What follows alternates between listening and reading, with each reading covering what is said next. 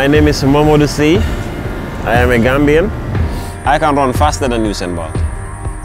Yeah, because Usain Bolt believed himself and then that's why he is where he is right now.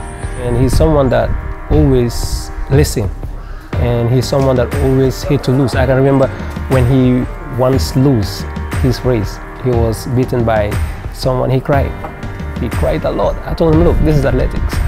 You fight, today you lose, you work tomorrow, you come back and win another day. And that's what he did. He worked the following season, he became a champion. When it comes to his physical performance and his, I can say all his entire training, I can give him 90 to 95%. He worked very hard. He used to train very hard compared to others. Mamadou will train day in, day out, morning and afternoon. Strength and power. These are two things that makes a sprinter. If you want to run faster, these are two things involved. More of explosivity because this is what we need to be able to execute. Running means um, the whole life for me because um, at this point in time, without running, I am nowhere and then I am nothing.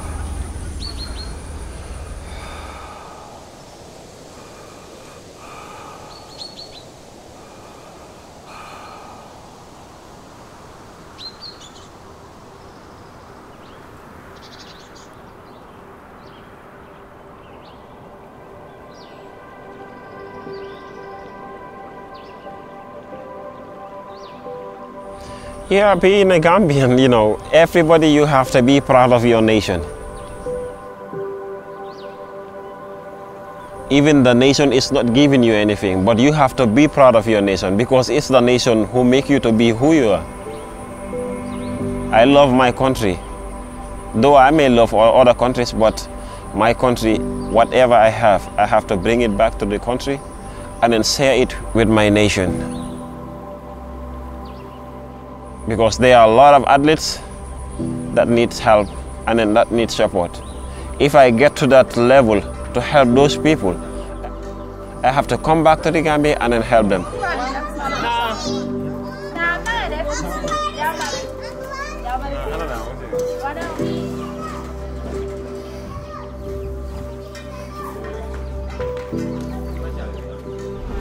Okay, now um, I'm gonna show you where I live, where I come from, where I where I do normally come from to go for training every day.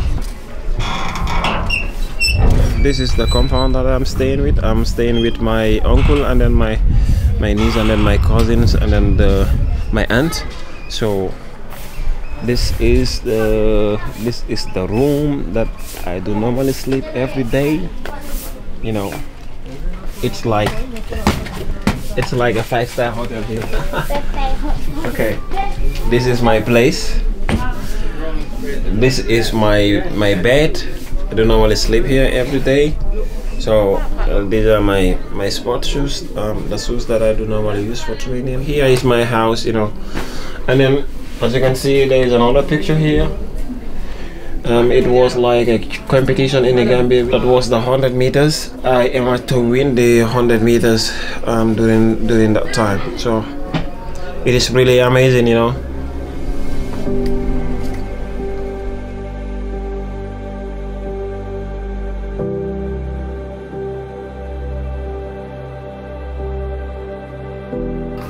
Yeah, the Gambian people, you know, they like him.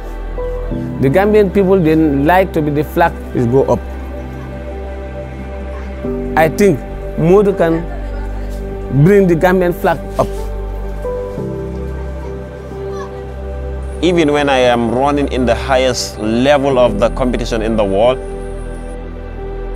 I must give back to the Gambia.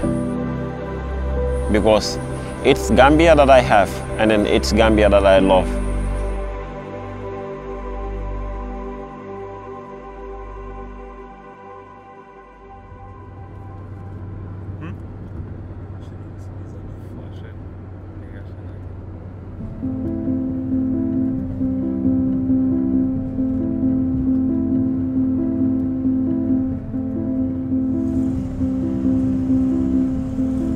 I came from a very poor background. We went there and then you see everything by yourself.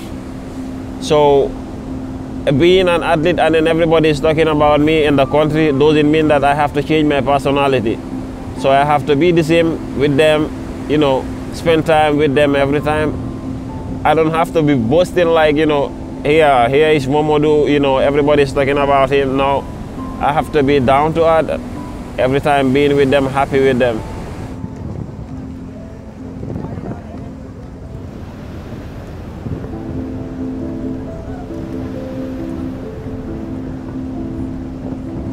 I don't have to hide myself or stay away from the people now, always with the people if I have free time. We are at the Upper Basic right now. Yeah, this is the school that I was attending. I started doing athletics here, so it was really amazing, you know. Hey, Mr. Lam. Black. Yeah. Um, my relationship um, beside running is, you know, socialize with people, socialize with friends, and then be happy with, with them, spend time with them. You know, that's the only thing that I have.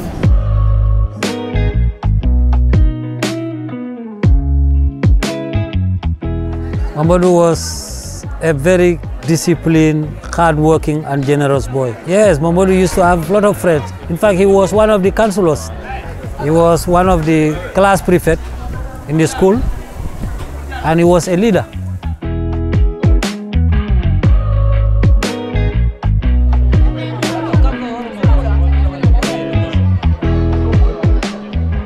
I have known Mamadou for so long. We grew up together, we were raised in the same community. All I can say about him is like, he was born brave and he also loved sport a lot. And this thing started as a talent in him. It was like, if I can recall, during our childhood days, you know, it is a custom in the Gambia, especially in Africa, most especially in the Gambia. Whenever we see white men like you, we go after you, chasing you, asking for sweets and stuffs like that can, that can benefit us. You know, there's a way bridge here where the tourist cars normally pass before they reach Ubara, where they take the ferry and cross. During our childhood days, whenever we see these people, we deem it necessary that we have to run after them and chase them, ask for sweets and stuff like. And whenever such happens, he always took force because it was sort of a race. From there, when he started doing this, becoming an athlete, I recall my mind from there that this boy was great since he was young because that was in sort of a race and he always took force. Um, this is the ground that I started running, and then this is the place that I started realizing myself that, you know, I can be a better athlete because they have given me the opportunity, and then they've given me the chance to run, and then you know, encouraging me every day. So it's a place where I will never and ever forget, you know. yeah, sometimes he is funny because he brings the fun to the team. Yeah, sometimes we will come to training and then everybody will be sad, you know, people will be scattering around and then he will be motivating us, joking so that we will all come together. He's that kind of guy when he's there, always. We have the spirit and then the zeal to work hard, you know, to be with him. He's a nice guy. Yeah, he brings the spirit to the group. Without the help of the people, I see myself nowhere. So I have to socialize with them, be happy with them every time, so that you know I can be happy. You know. He always laugh. He like yeah yeah he like uh, funny things. He like creating jokes so that people can laugh at that. You know, if you have a person, that kind of person in a family, sometimes you know it brings the family together. The way you see him like this, that he is, that's the way he is. He is open to everyone. He is very, very open to everyone. If he has something to tell to his brothers, he will consult them and say, bro, this and this and this. So he seek advice to them. Yeah, my brother, you know, he is really cool. Yeah, whatever I do, even my secret, sometimes I have to tell him. Just to seek advice from him to see what I am doing is correct or not because at least he is older than me and then he knows better than me sometimes. He's a really cool person though. Yeah, I like him. Mamadou, I'm his uncle. Yes, Mamadou is a nice man. He's a humble man. He's very honest. He's not somebody like he's going to do something bad. No, he's a very good guy. He's very good. I never see somebody who came to here and said, Mamadou, do this for me. No, no. always anybody came for, for Momodou, his friends, he came here uh, and, and they like him. I know this guy is good. We have to be there for each other and then help each other. Being a Christian, being a Muslim, you know, we all believe in God. Sometimes we have some little conflict, but when we sit and then think about what we are doing, it's not right, we have to reconcile again and then be together again, and then life goes on. ok Mamadou xam nañ ko depuis mu nekk xale. waaw parce que ñoom seen yaay ci bi la kon ñun ñoom ba loolu ñu nit ñi jàppale ci bu ñu leen jàppale.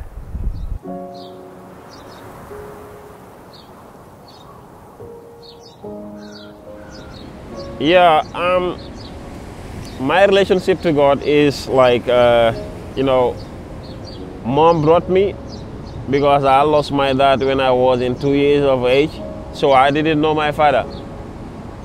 And then my mom brought me like, you know, a real believer. That's why I didn't care about losing my father or not because I've never sit down thinking about my father because my mother is my father, is she is my mother. Yeah. So that's the belief she taught in me and then make me to believe that there is a God who is helping everybody. If you pray to him, he will give it to you. As we are we are Muslims, we learn it in the Quran that whatever you ask God, God will give it to you in either this way or, or the other way. Yeah. Always when you when you pray to God, God will answer your prayers. That's why I believe in Him. Whatever I want to be in life, I will be in life because I always pray to Him. So you're going to drive away? There is a relationship between mother and a child.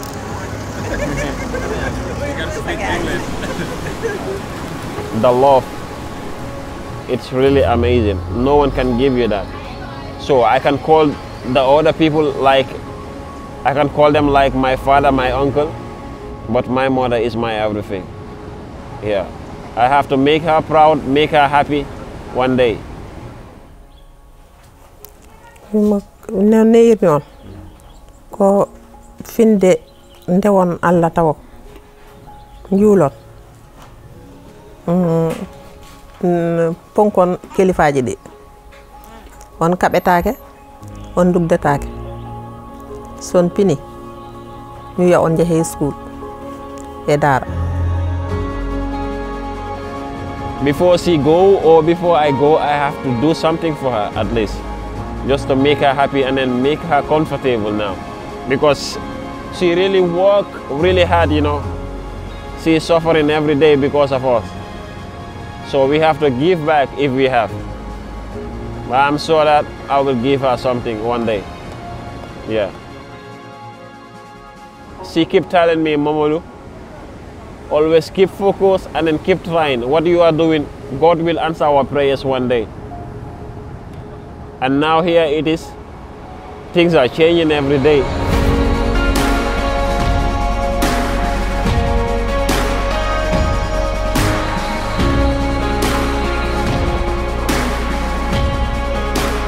I wish him all the best. And I'm sure a day will come, Mamadou will be one of the best in this world. He can hit 9.5 or 9.4.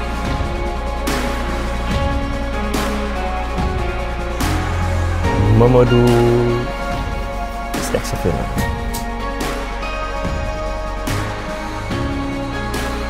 Genius. e mamadou ko moƴƴoɗa Super. I describe him as a perfect gentleman. I'm like, I'm not even talking about Gambia. I'm talking about the whole world. I can be the fastest man in the world because the fastest man in the world is a human being and then I am a human being. So what he can do, I can do it.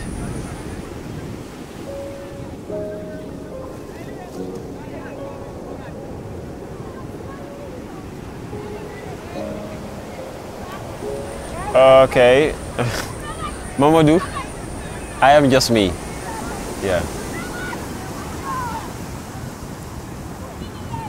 Mamadou,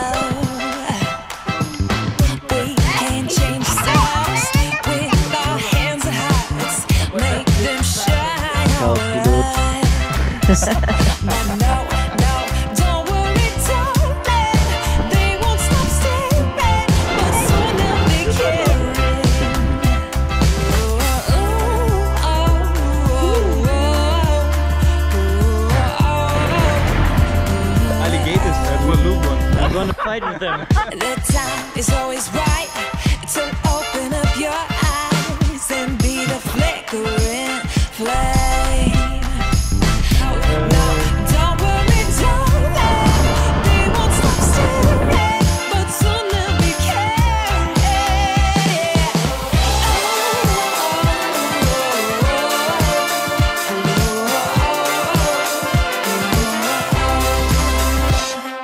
Aloha. Bye bye.